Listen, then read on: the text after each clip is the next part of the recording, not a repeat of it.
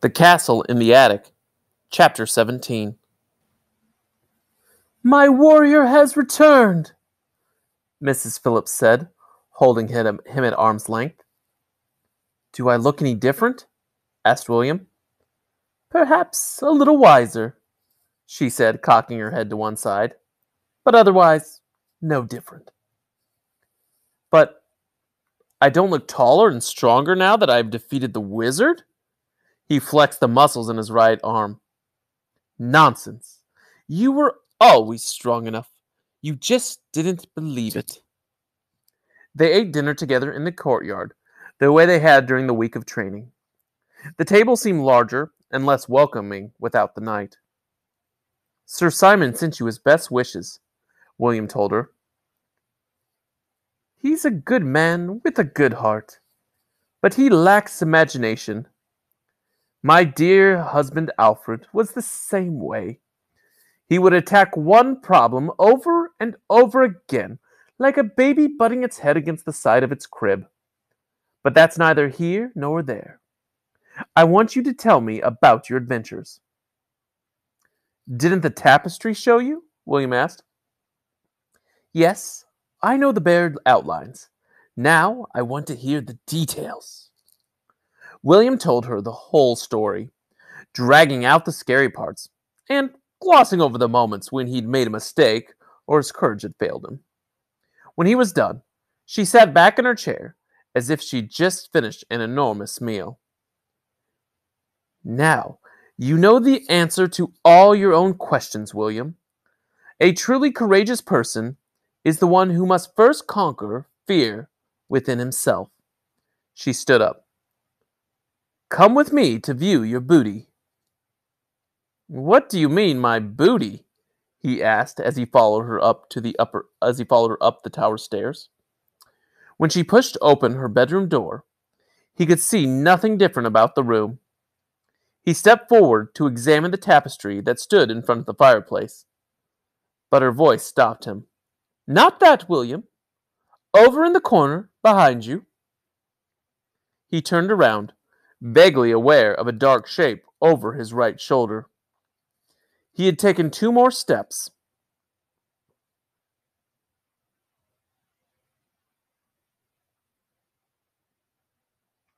Uh, he had taken two more steps across the room before he realized what he was looking at. It's the wizard! he cried.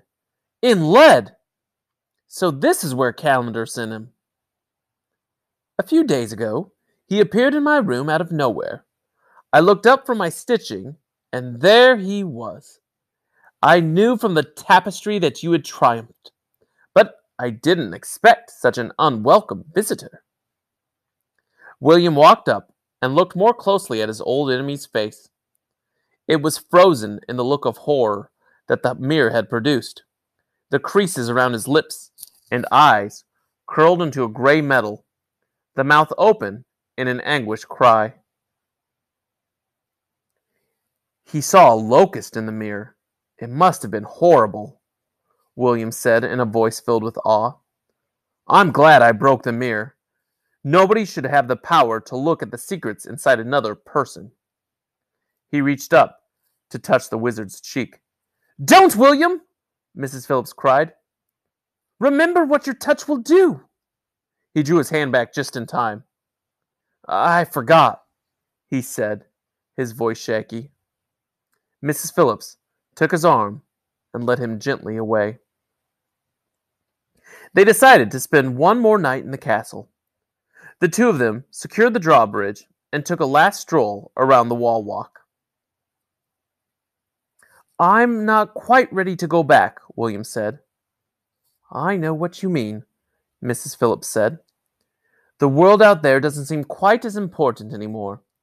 Although I shall be glad to get a new jar of marmite and take a brisk walk in the countryside instead of around and around the courtyard.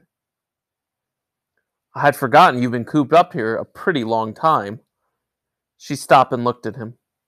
Now, when I head down that path to the bus stop tomorrow afternoon, William, no funny business. Right? Right, he said. Although I do have this special token that makes people green from the roots of their hair right down to their toenails. Don't you think your brother would like you to come home a whole new color?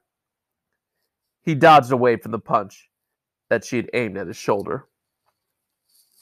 The next morning, they ate the last of the granola for breakfast and changed into their old clothes. They met downstairs in the courtyard and raised the portcullis together.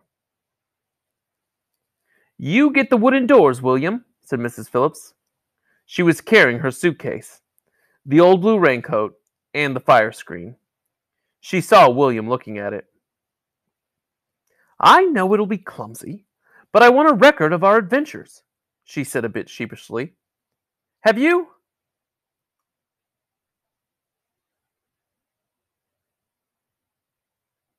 Have you got everything? Where's Bear? In my backpack. I wouldn't leave him behind, no matter what, William said. Where shall we do it? Just outside the castle, so we don't damage anything when we grow. If we stood on the drawbridge, we'd break it. You're right. I've gotten awfully used to myself this size, she said. Sure you don't want to stay this way? he asked. Yes, young William, I am very sure, she replied, with just a hint of Sir Simon in her voice. Now, lower the drawbridge, my lord. We have business to attend to outside the castle. As you wish, my lady. Arm in arm, they walked over the wooden planks for the last time. Look back, she said. It will never look this way again. William remembered the time he had seen the castle when the Silver Knight first made him small. Every detail of the stonework and every line in the planking had suddenly stood out. After a moment, she pulled open the leather pouch and he produced the necklace. Does it need to be back together? she asked. I don't know, he said. Let's try it that way first. They pressed the two halves of the token together and snapped the clasp, clasps on either side. I'll do you first, he said. It's only fair. Before she could object, he pointed the key side of the token at her and said the word Janus. Suddenly, he was looking at the pattern of holes in the shoes of her, uncomfort- of her comfortable brown shoes. In the toes of her comfortable brown shoes. She knelt down and picked him up very carefully. Now, I know how you felt, he called out to her.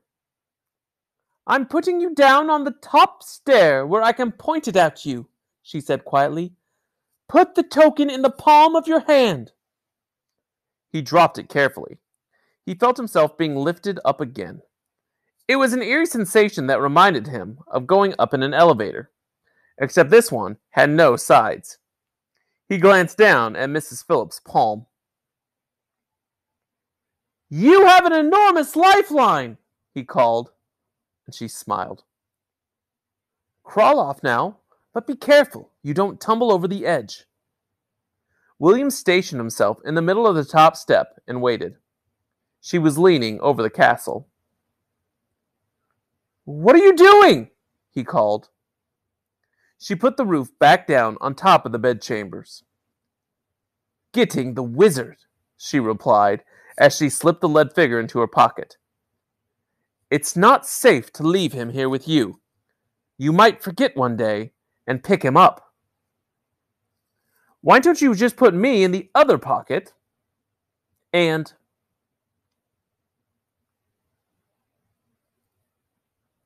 and take me to England with you, he said. Oh, William, don't tempt me, she said. Her voice sounded gruff. Are you ready to grow? He nodded.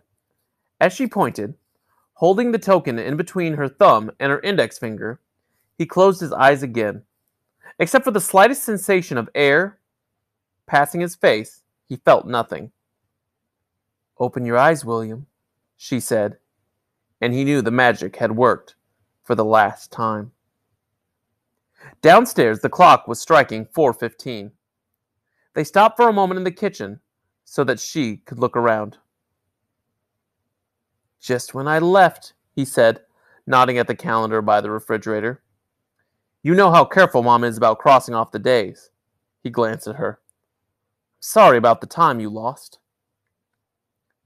It makes me feel younger, she said with a smile. We'd better go.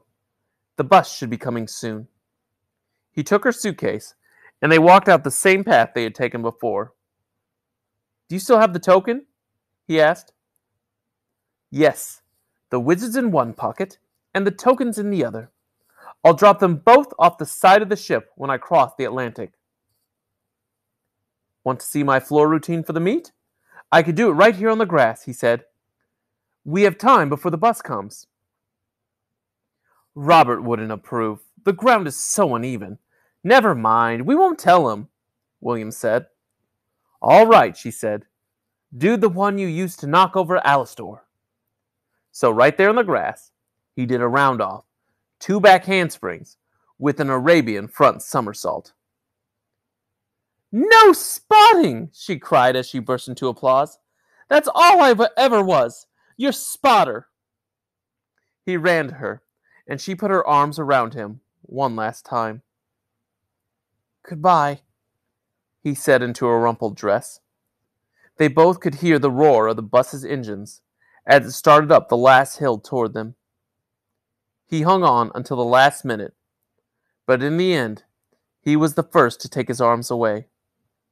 She picked up her suitcase and climbed the bus steps without looking back. Long after the door had closed and the bus had grumbled away from the stop, he stood on the side of the road and waved. When he went back to the kitchen to pour himself a bowl of cereal, he noticed the note taped under the telephone. William, chicken with cashews tonight. I'll do the shopping. Love, Dad.